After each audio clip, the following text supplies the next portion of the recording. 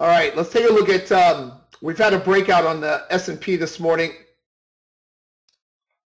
Uh, so on a high value area, looking for a consolidation, a little um, cup and handle formation should be forming. We're going to wait for one. We had a breakout at the close yesterday. You can see uh, 1555. We talked about this, um, having these breakouts near the close when institutional uh, window dressing comes in and you get that those algorithms like to push the market up and down. Usually starts around um, 350 into the close, but you can see that clean breakout. that yellow trigger, when that when that comes up, you have a breakout that's happening in that particular market. Uh, you can see that uh, our oscillator below got into a stronger position. There's our stronger position. When above 100, we're in a strong position than the breakout, and the S&P is just getting a nice little uh, rally point. A market profile broke out. You can see we broke out of MP. So we're in a uh, nice little uh, imbalanced market. We were balanced, now we're imbalanced. So we're into an imbalanced market. You can see what happens when you get into an imbalanced market. This is what happened we got that trigger buy yesterday into the close. We got into an imbalanced market and you can see what price action likes to do. Same thing here. We're into a imbalance from a balance. So a balanced market's when you're in between profile. This has been working since 1985. When you're in between low value area, big green thick line, HVA, high value red, thick line. When you break out of that, that's balanced when you're inside of it. That means you're in a, the accumulation distribution right there, the control point, the most volume is traded. It's containing the market between value areas. But once you break outside that, you break outside of value, you get a lot of buy stops that are hitting for the traders and the algos and so on that are short, and you get this fuel and price to the upside. So that's when you want to look for your breakout levels uh, to hit. You want to see these yellow triggers to, to uh, start to moving. We've been really on fire on crude oil this week. I mean, just day after day, we have been just getting some nice uh, breakouts. We had a breakout just happened now. Breakout happened here at 6:42, almost 7 o'clock this morning. Breakdown, I'm sorry. We got into a weaker market. Yellow trigger form. And uh, we had a nice little sell-off. 74.19, uh, potential down to 93. But yesterday, just one after the other, just kept breaking out. Uh, this morning, here's one at 4 a.m. Here's one at 2 a.m., another breakout. Here's your yellow bar trigger short yesterday at noon. These are not, uh, these have been some pretty good moves. You see that uh, that's what, 46 potential down to um, 94. 50 tick move. That's $500 per one contract potential or the micros $50 potential, one tenth of the big contract you can see that it's just signal after signal on crude. It's been really moving around really nice. There's a signal 11 a.m. broke out. Another nice potential trade on a breakout. Uh, one before that, another potential breakout at 10 o'clock yesterday. These are all breakout setups uh, we sent over to you to review. What these are, small cup and handle formations. Um, they're very, very accurate on continuation trades because we have a trend filter built in. That's our trend filter that's been back tested over 30 years. That is our zone. And this cup and handle looks basically like this. There's your, there is your handle. Here's your cup. There's your retracement. That's what we're going to look for right now in the S&P as we speak for the next setup see it looks like a little cup. Once you break that handle, you see that nice little breakout continuation. It looks like a cup and handle formation. the algorithm automatically picks this up for us, displays it. So we've been have some really nice nice setups. You can see on crude oil, there's another breakdown, another potential. 79 down to 40. Almost $400 potential there per one contract. Another breakdown, 6 a.m. You can see it's just one after the other in crude, just really cranking trades out. So just heads up, crude's been really active.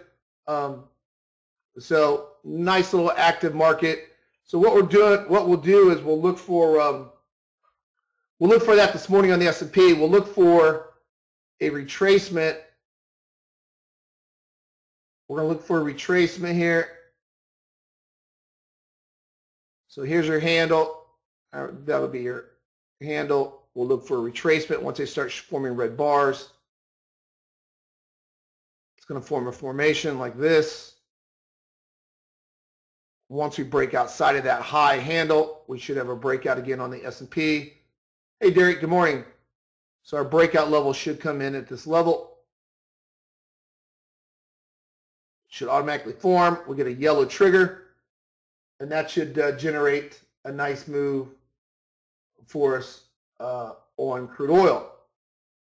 So another setup. So so there's only two types of trading we look for in the room. I mean, we're we're in into a imbalanced market, which is which we want to see. I mean, obviously, imbalanced markets is where it's at you know, you want to trade markets where the buy stops, if you're above HVA or sell stops are getting hit. This is all the volume in the market. This is all the participants in the markets, our roadmap in the market. It shows us where we have an imbalance. Hey Sal, good morning. So we are in an imbalanced market moving up, looking for a cup and handle formation, trigger breakout as we speak. So that is the breakout setup we're looking for right now. The cup and handle right now, we're looking for a cup and handle formation, yellow trigger breakout.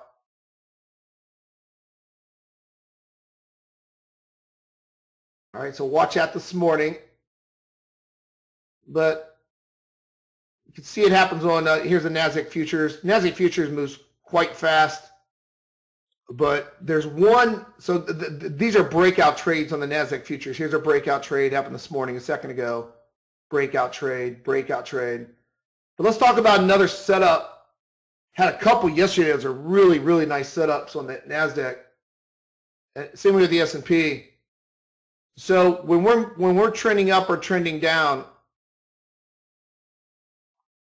so we have breakout trades. Obviously, these yellow triggers.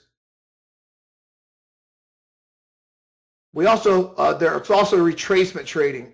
Retracement trading is, so we have these two zones. We got my, my 54, 38 zone. When we close a candle outside our bar, outside of that outer zone,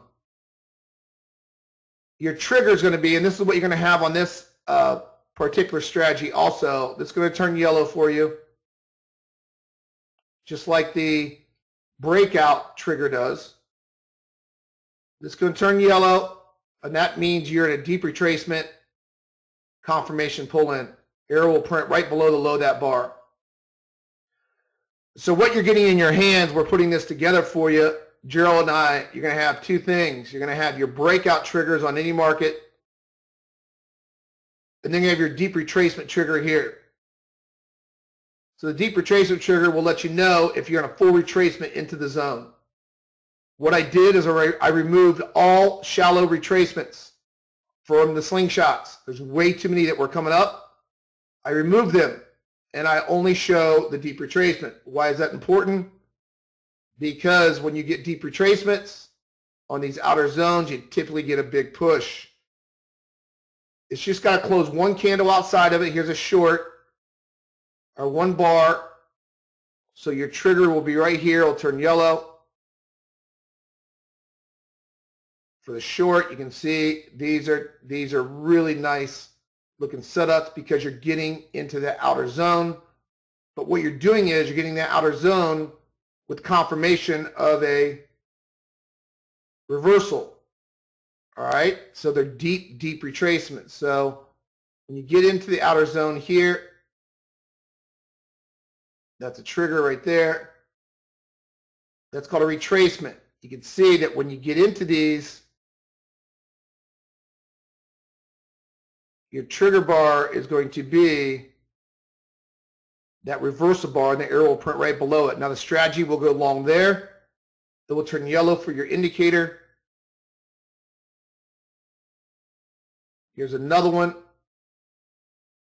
It's going to turn yellow exactly when that candle closes back inside of that outer zone. The key is it's got to close one candle outside of it and that's going to pull you right back in. Now this works on all of them, not just the uh, NASDAQ. I like NASDAQ because the moves are so robust. There's another one. You can see the shallow, I removed these shallow retracements here though. These are not going to come up on the update you're getting. I'm only going to print these guys right here because the strategy, I'm trying to cherry pick trades on the strategy. The best ones are full retracement zone so we don't deal with shallow retracements like this. These are the guys we want. We want the full retracement. Remember, there's only two trades you look for. There's your full retracement on the slingshot, and there is your breakdown on your zone break. So they will wait for a full retracement outside of the zone. Here's your breakdown. Obviously, those are very key in this shallow retracement, but you can see that what I'm talking about, when you get to the outer zone, there will be your trigger for a continuation short. Okay? So, like I said, there's only two types of now. Does it work on the S&P? Yeah, same thing on the S&P. So the S&P, this was our obviously our breakout, our last one.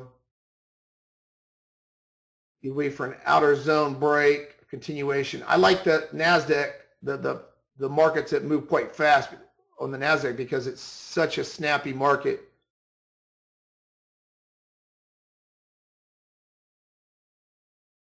Uh, no, they're going to be, you can see them, they're on the outer edge.